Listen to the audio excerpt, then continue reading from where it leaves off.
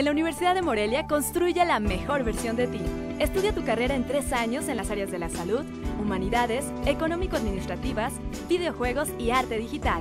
udemorelia.edu.mx Teléfono 317-70. La Orquesta Sinfónica Infantil y Juvenil de México vendrá a Michoacán para ofrecer la calidad de sus ejecuciones musicales. Ofrecerá conciertos del 31 de julio al 2 de agosto. Un espectáculo con 174 músicos en escena, todos ellos niños y jóvenes entre 7 y 17 años de edad.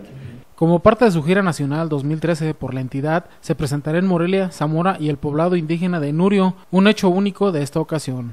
De esta gira que hacen en 2013, Michoacán eh, es el único estado que va a tener tres presentaciones artísticas.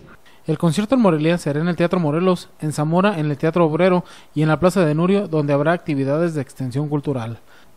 Y vienen a hacer una, una convivencia con gente de, de Nurio para la posibilidad de, de la conformación de, de una orquesta ya, ya. Como parte de la política de acercamiento a la cultura a todos los sectores de la población, las entradas serán gratuitas. Y, y el concierto es gratuito, con pase de cortesía. Los pases se van a estar entregando en la Secretaría de Cultura. Se... Será la segunda vez de la OSIN visite Morelia. Vendrán con 14 integrantes adicionales, todos estudiantes de formación musical y jóvenes procedentes de Costa Rica.